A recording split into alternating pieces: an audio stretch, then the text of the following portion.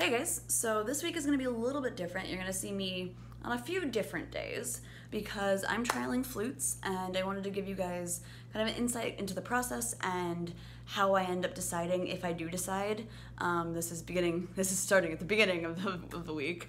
Um, and just kind of talking you through the process of trialing flutes and finding a backup flute as well because that's kind of a very specific type of trialing because you're trying to emulate a flute that is much more expensive and that's an interesting process as well so um, I have four flutes on loan from Carolyn Nussbaum Music Company. If you don't know who they are, they are a flute dealer and repair shop and just general flute center in Dallas, Texas. Um, I bought my head joint from them in 2015, and so when I was doing this, I thought of them as an option to trial from because I knew they would ship uh, to the Midwest, even though they're in Texas, and I think that's awesome.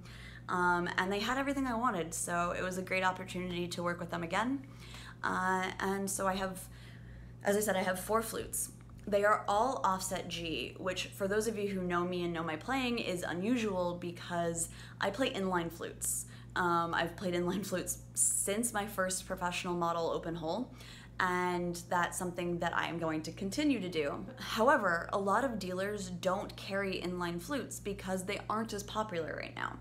So they would be carrying inventory they're not necessarily going to move, and especially with flutes like this where there are a bunch of different models and they aren't super expensive, but they are still quite an investment. It makes no sense to have both models on hand. The offset flutes are more likely to sell, so they're gonna stock those, and if someone wants an inline flute, they can always order it.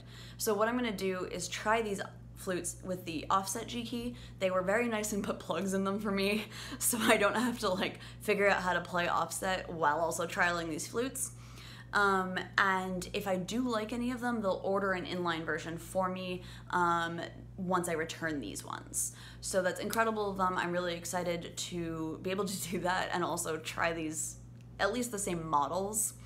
Um, but yeah, if you haven't seen, I did a brief unboxing video where I just kind of like talk about the flutes a little bit.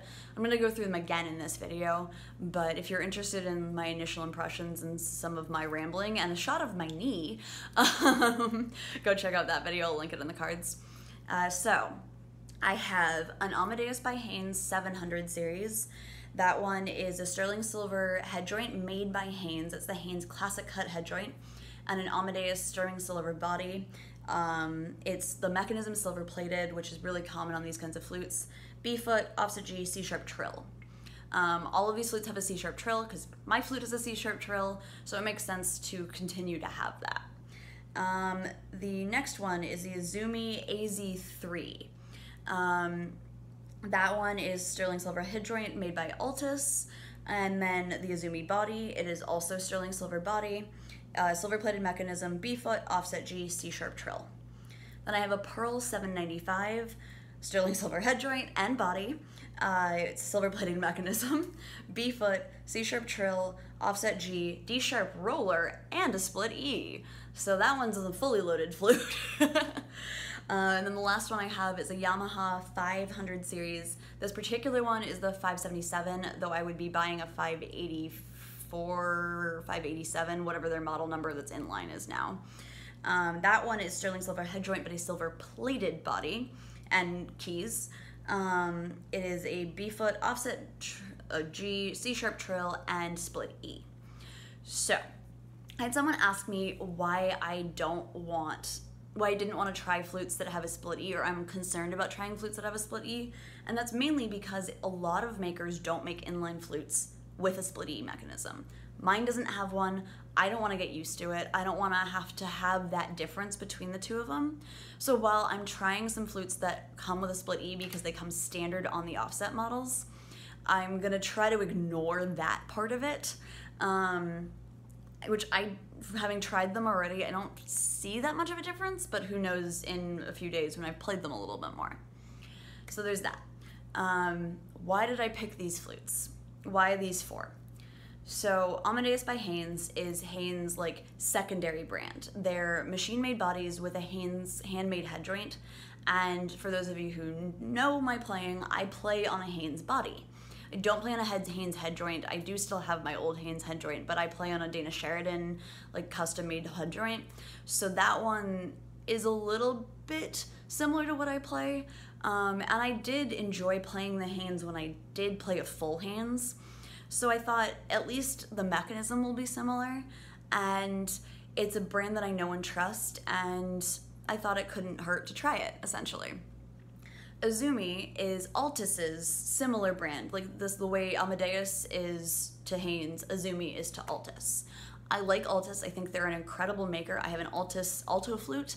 Um, I really, really love that flute. And so I went, hey, I like that instrument. I've liked everything I've tried from Altus in the past at conventions and things like that.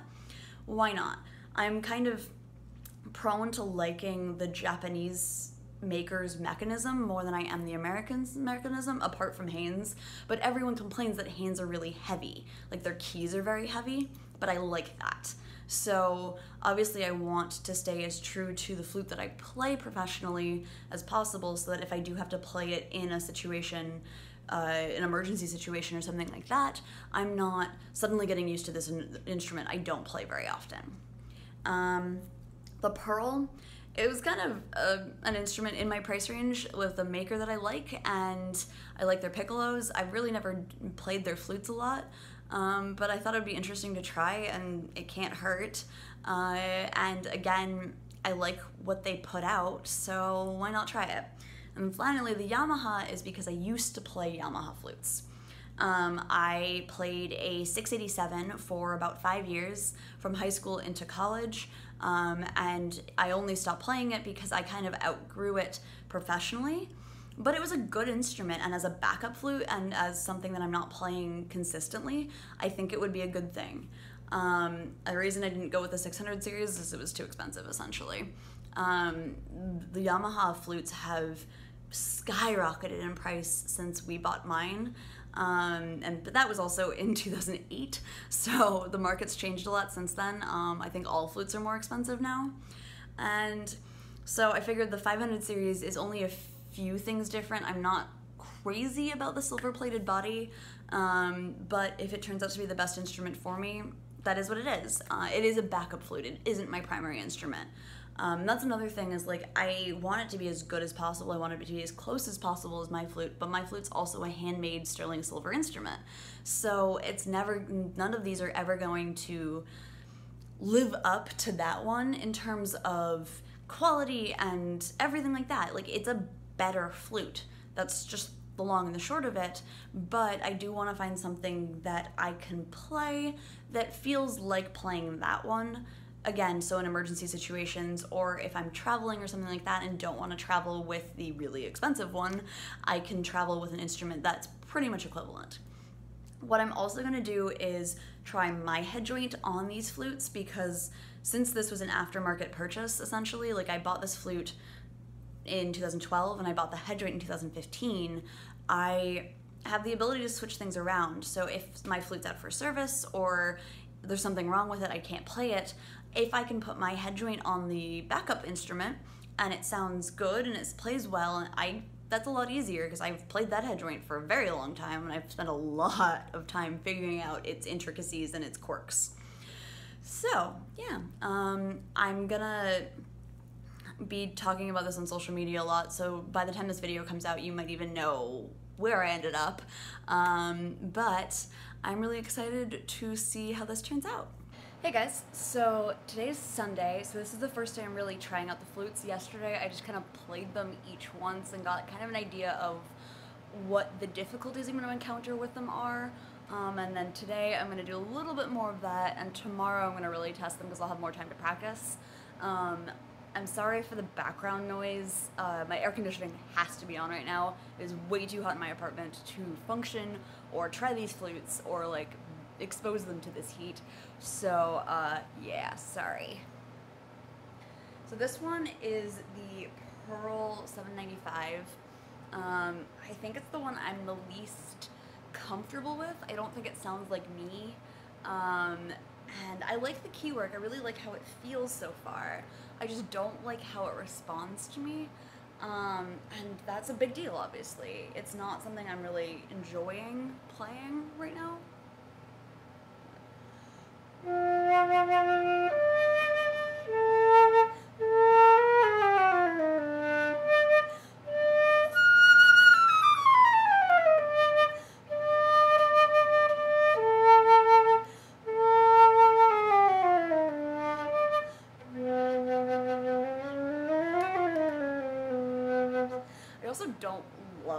Range. I think it's a little too hard to work.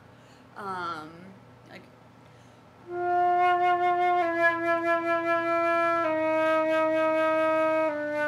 I can make it get a nice, decent sound. I just think it's too much work. And my, my flute is very responsive down there, so it's really hard to like justify buying an instrument that doesn't do the same thing. Um, and since I'm not replacing this instrument, I want something that's comparable. Uh, that's a big thing for me. If I'm gonna have to work really hard on one flute and not really hard on the other, practicing on one or the other is gonna change the way I play something, and that's not great. Um,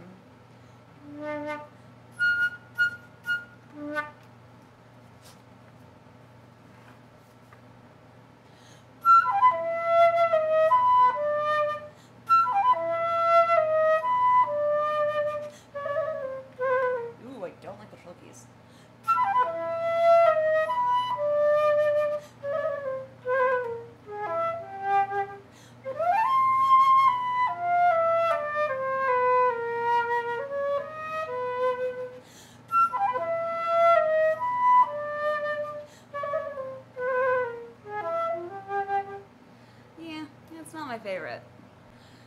So this one's the Azumi. Um, trying them yesterday, this is the one I'm actually the most excited about, which is really interesting because I wasn't entirely expecting that. I think it's incredibly responsive. I'm really, really happy with how it feels. And I think the key work is really nice. I'm not wild about the thumb key shape, but like, that's a really little thing in the grand scheme of things if everything else is working out for me.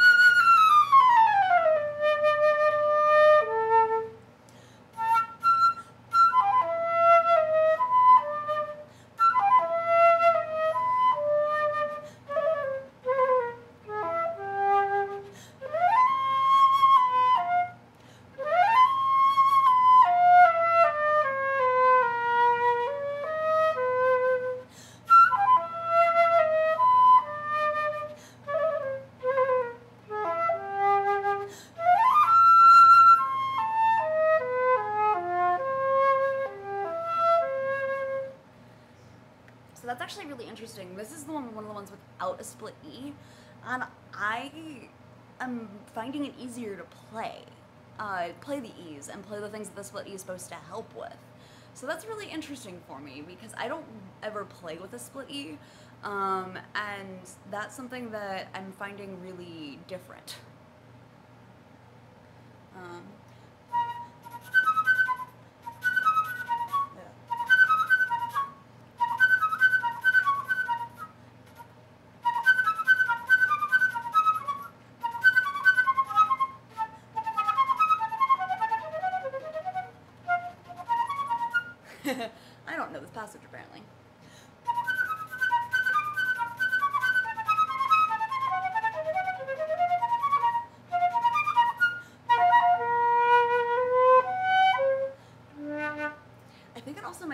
bright, but also like that's hard because I play a gold content flute with a, this is all silver, so it's hard.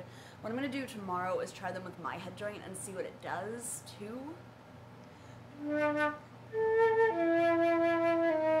Because I know on all silver I have a very bright sound. This is the Yamaha. Um, it's definitely the most comfortable to play because I'm used to this flute essentially. Um, but I think the head joint is again the issue, and it that's, that's the thing that concerns me the most is like I don't play anything except my flute. I don't play my anything except my head joint. So I know it's going to take a little bit of getting used to no matter what, but I don't want to make a bad decision and things like that.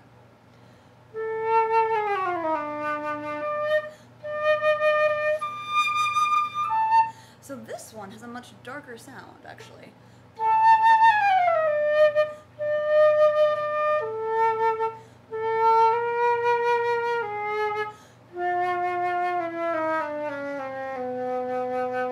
actually, what I was noticing is my Yamaha had a not great low range, um, and I think this one has a really nice one. My only concern about this flute is that it's a plated body, and that's like not great.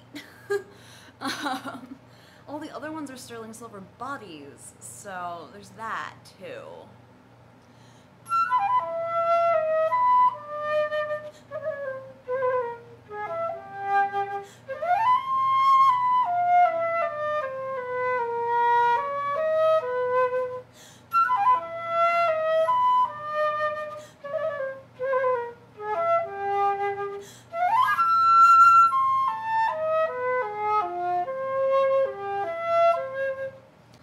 So this is the last one. This is the Amadeus by Haynes. Um, this one actually surprised me in that like the keywork is very different from the Haynes keywork. Um, I wasn't really expecting that. Um, I feel like it's a lot flatter, uh, but meh, it's not that much different than the other other ones. I just was expecting it to be a little bit more like my Haynes. Granted, my Haynes was also made so se- five years ago now, six years ago now, so things have changed since then too. Ooh, it has a really nice low range.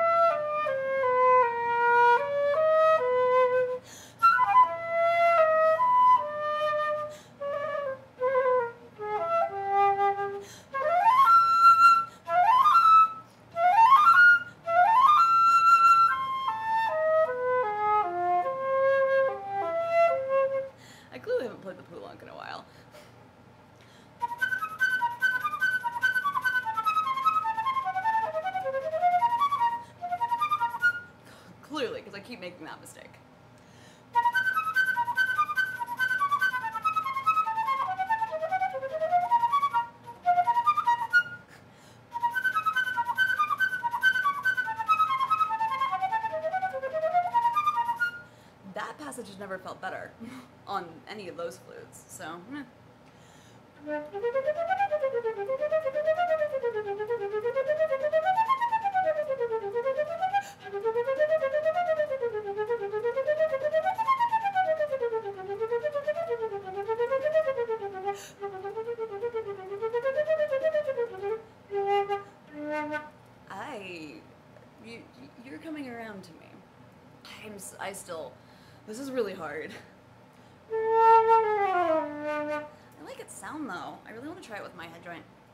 For tomorrow. Hey guys, so it's Monday now. Um, I know I said I was gonna try all of the flutes with my head joint, but it only fits on the Pearl, so that's the only one I can try it on.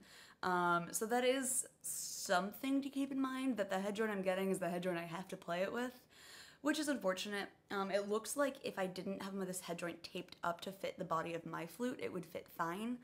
Um, and it's possible that on the inline models that I'm gonna get, the barrel will be slightly different sized and it'll fit. Um, though because they're machine made, chances are that's not true. Um, so that is a detriment, but uh, in the grand scheme of things, this is the head joint for my professional model flute. It's not necessarily going to be something that I can take with me, so it is what it is, I guess.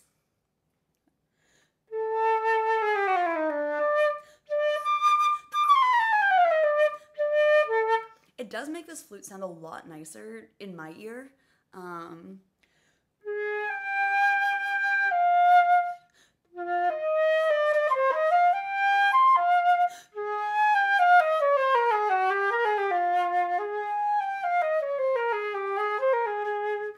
but I truthfully don't think it is good enough to justify buying this flute, especially since with its other head joint, I really don't like it.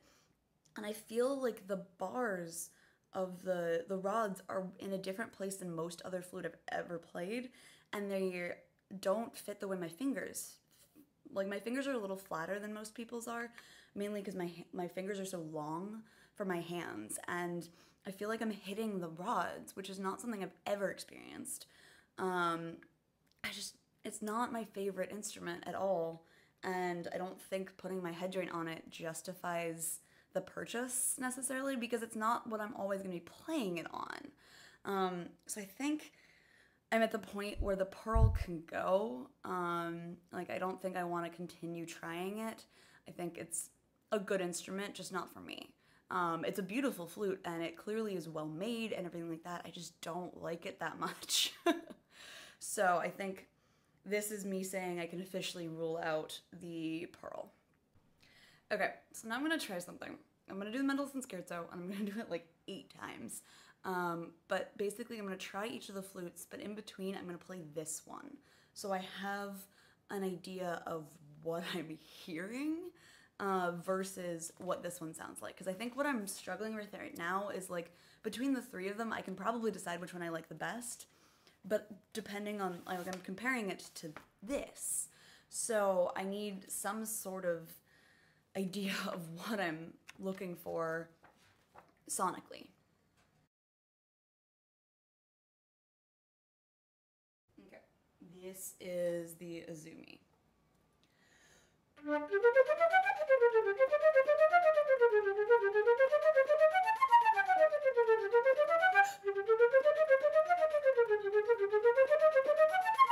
This is the Yamaha. Ooh, a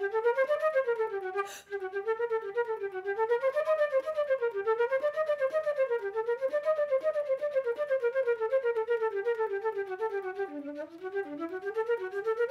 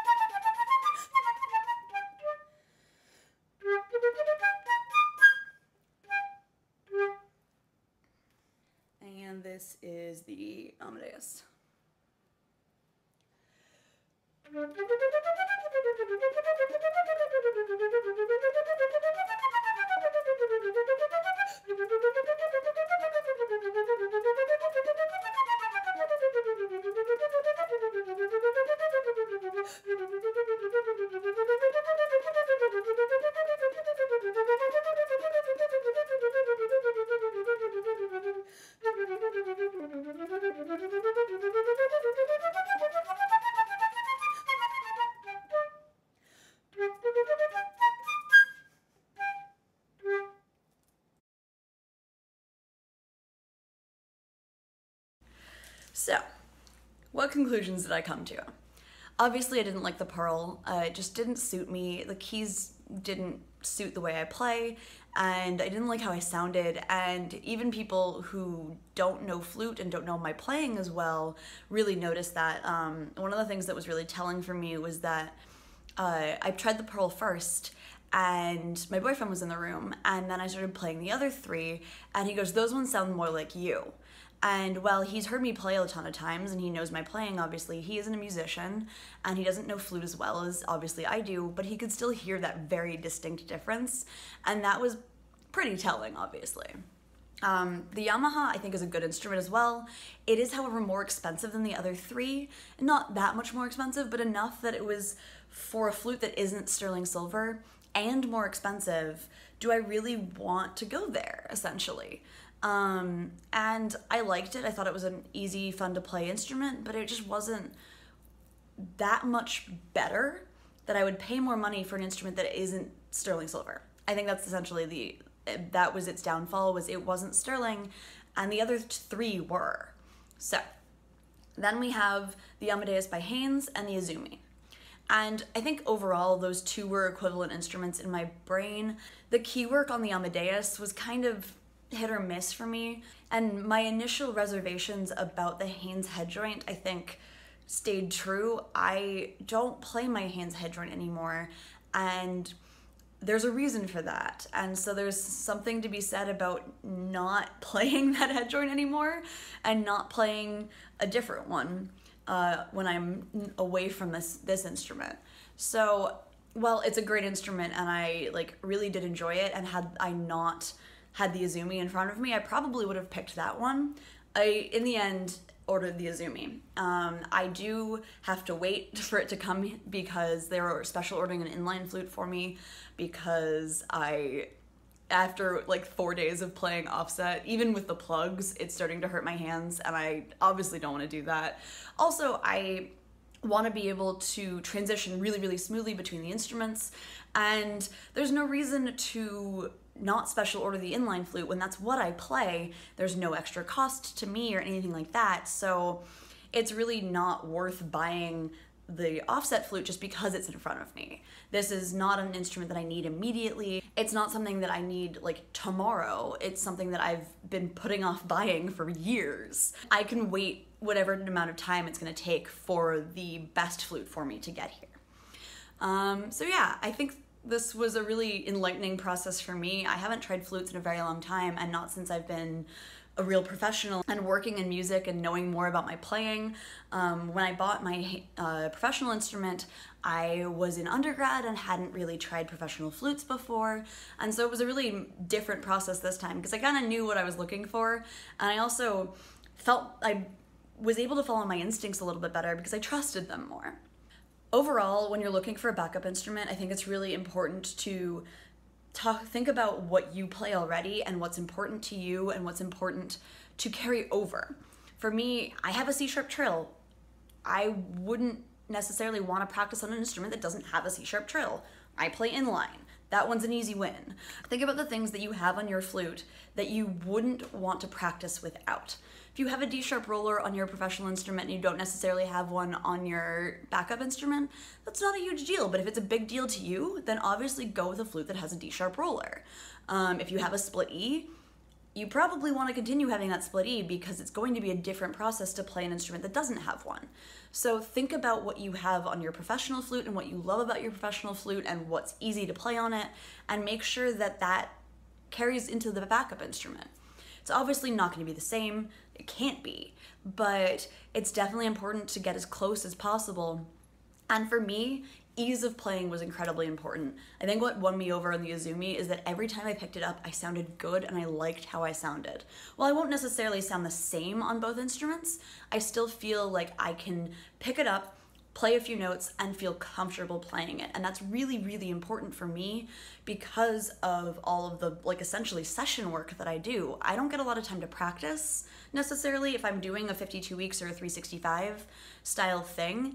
And I do a lot of subbing, so I don't necessarily have time to do that either. So it's really important that I have a flute that will just do what I want immediately and I don't have to fight to warm up on it because sometimes I don't have that luxury, unfortunately. So yeah, I hope this video was interesting. I know it was a really long one. I'm sorry. Actually, I'm not sorry. That's what this video was going to be. It's why it took me so long to put up and everything like that. Um, if you are looking at buying a flute, it's definitely worthwhile trialing. Um, it's definitely worthwhile. Not necessarily even picking the first flute that you get to trial. Uh, do do your research and really have people help you and have people listen and take notes.